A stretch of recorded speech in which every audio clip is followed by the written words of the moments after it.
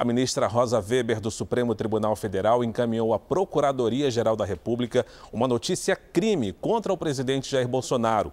Na ação, o presidente é responsabilizado por sugerir o uso da cloroquina, um medicamento que não tem eficácia comprovada contra a Covid-19. Cabe agora ao Procurador-Geral da República, Augusto Aras, autorizar ou não a investigação.